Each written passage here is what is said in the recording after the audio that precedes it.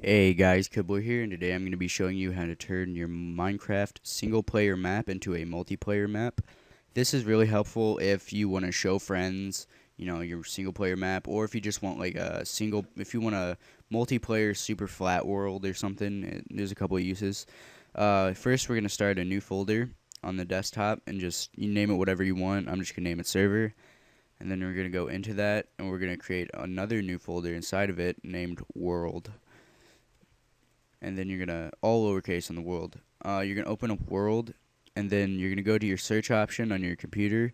Mine's right down here, and we're just gonna search percent app data percent press enter, and then here's a huge folder filled with stuff. At the top or somewhere towards the top should be dot Minecraft. That's the official Minecraft um, folder, and we're just gonna go to saves.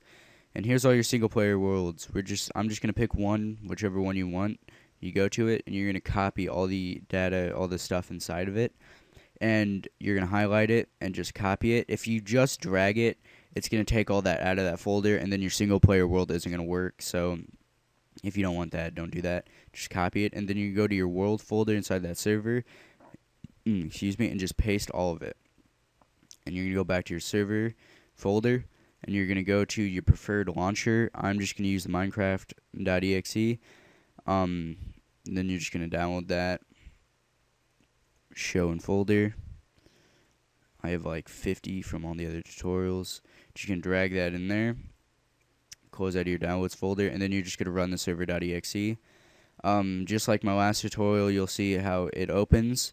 And it'll just start, I think it's converging. It'll just start converging the map. And it'll start loading all the folders. As you can see, it's preparing level world. And there you go. Should be ready to should be ready to rock. There you goes, guys. Thanks for watching.